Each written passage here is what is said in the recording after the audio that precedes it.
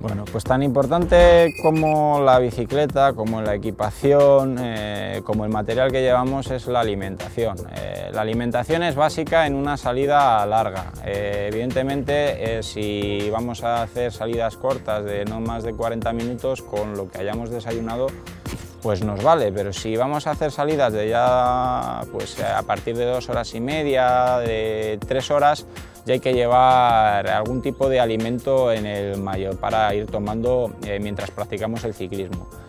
¿Qué solemos llevar en carreras o qué suelen llevar los profesionales en carrera? Bueno, pues todo tipo de alimentos, desde frutas eh, partidas en, trozos pequeños para poder eh, alimentarse bien mientras van corriendo, pasando por pastelitos, frutos secos, o lo que son eh, eh, los productos energéticos, como puede ser esta barrita, que es una barrita de cereales con frutas, y lo que es eh, los geles. Los geles que te aportan, los geles te aportan glucosa. Eh, cuando estás eh, cansado, empiezas a estar fatigado, el, músculo eh, pide, pide azúcares para, para, funcionar mejor. Entonces, este tipo de geles llevan mucha glucosa, también llevan, algunos llevan cafeína, que es un condimento un, excitante, bueno, pues para que te dé lo que nosotros llamamos como, como chispa. Con esto consigues eh, que cuando empiezas a estar fatigado, bueno, pues eh, el cuerpo eh, asimile el azúcar que necesitan los músculos para trabajar de forma mucho más rápida, ¿vale? Tan importante como comer es beber. Hay un dicho que, en el ciclismo se dice come sin hambre y bebe sin sed para evitar las terribles pájaras.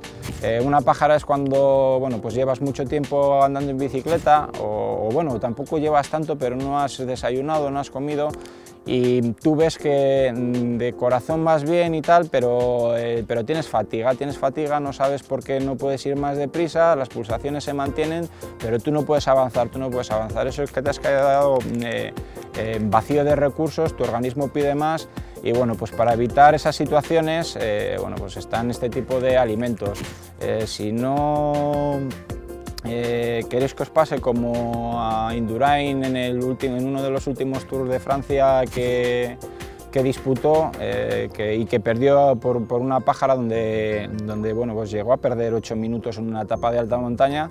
Pues hacedme caso, eh, comer y beber, comer sin hambre, beber sin sed en eh, salidas prolongadas y sobre todo bueno, pues cuidar muy bien la alimentación con las cinco comidas eh, que se mandan, con un buen desayuno, con una buena comida y con eh, una dieta equilibrada y sana.